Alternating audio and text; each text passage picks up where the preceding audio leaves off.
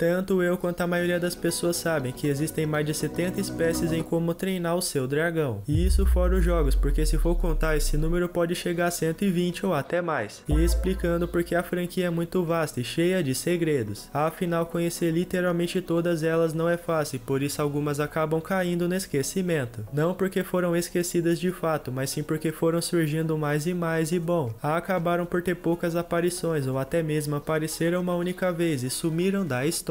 Por isso hoje eu vim trazer uma parte 2 de um vídeo que eu fiz com esse mesmo tema e muitas pessoas pediram uma continuação. Cá estou eu e hoje então eu vou te mostrar os dragões antigos que foram esquecidos e pouca gente se lembra deles. Agora continue comigo e vamos começar.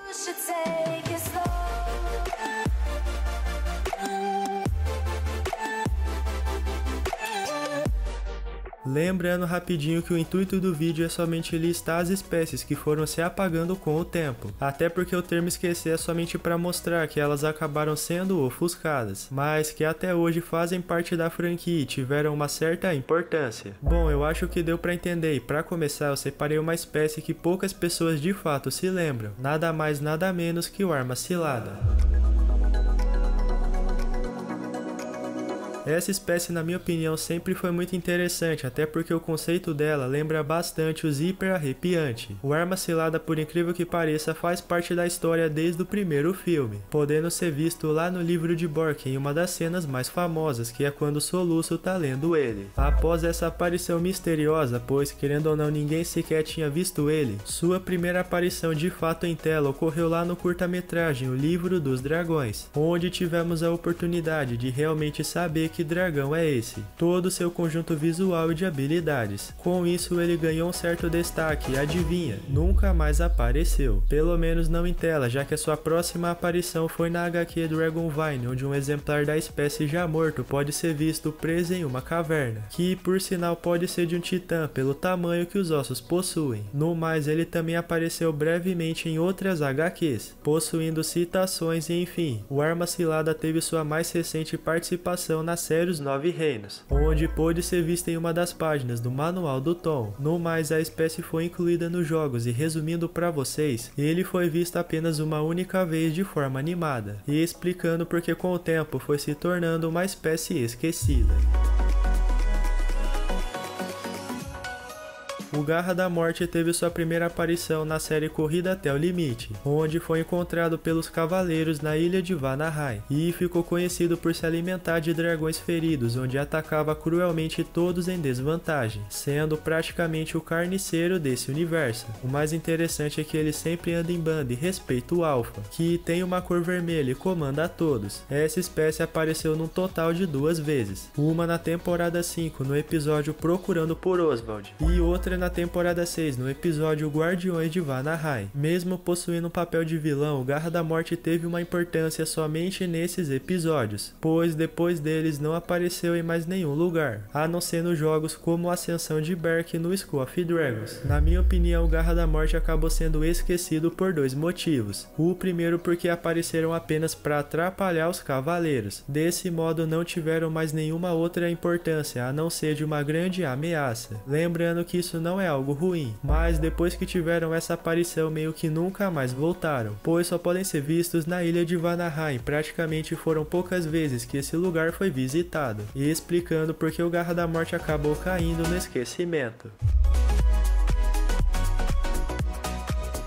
A próxima espécie é uma das que menos foi comentada em toda a série, por conta da sua história misteriosa que ninguém sabe se é real ou se de fato é apenas uma história. Lobisgão, o dragão lobisomem, metade lobo, metade humano. Uma criatura bizarra que, segundo o Bocão, aparece uma vez ao ano para aterrorizar a ilha de Berk. Todo esse mistério foi descrito como apenas uma lenda, em uma noite onde o Bocão decidiu contar essa história para os cavaleiros, depois que o cabeçador afirma ter sido mordido pelo lobisgão O mais incrível é que ele nunca apareceu de fato e não temos nenhuma imagem de como ele realmente é. Apenas temos fanarts e desenhos que tentam representar. O que mais me intriga é que o semblante dele pode ser encontrado em uma lente do olho de dragão, dando uma certa pista de que a lenda pode não ser somente uma história. Afinal, o olho de dragão é um artefato antigo e se a espécie está representada nele é porque alguém já viu. E pelo motivo de nunca ter sido mostrado nem mesmo nos jogos, também acabou se tornando um dragão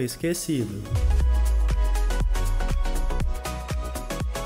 Para fechar a lista, eu separei a espécie Asa de Sombra, que teve somente uma aparição na série Corrida até o Limite, podendo ser visto no episódio 7 da quarta temporada. O mais curioso é que pouca gente reparou é que o Soluço foi o único cavaleiro que viu essa espécie de perto, até porque todos que se aproximavam da ilha acabavam sendo pegos pelo Asa de Sombra. Então praticamente ninguém saiu de lá para contar a história, só o Soluço que caiu em uma armadilha deles e conseguiu escapar, apesar de que nessa mesma ilha tem uma base base de caçadores e isso refuta essa ideia, mas não muda o fato de que o Soluço foi sim o único cavaleiro a conhecer o Asa de Sombra, tanto os pequenos quanto o Asa de Titã, já que em paralelo a isso os outros estavam delirando por conta do sol da meia-noite. Bom, como eu falei, essa espécie apareceu em apenas um episódio, que por sinal foi bem caótico e resultou em uma aventura inesperada. Lembrando que o Asa de Sombra também pode ser visto no jogo Ascensão de Berk, mesmo que não tenha tanta importância por assim dizer, ganhou uma certa relevância pelo conceito que ele tem, inspirado em um avião bombardeiro onde os indivíduos do bando se prendem ao alvo e juntos podem bombardear tudo a seu redor. E eu sei que isso é bem interessante, mas não é o suficiente para aumentar a fama deles. Por esse motivo se tornou uma espécie esquecida e pouco comentada, apesar de que eu já falei várias vezes sobre ele toda vez que o Asa de Sombra aparece em algum vídeo. As pessoas acham muito legal, pois como eu falei, ele é um dragão que acabou sendo ofuscado ao decorrer da história mas que mesmo assim ganhou um conceito espetacular.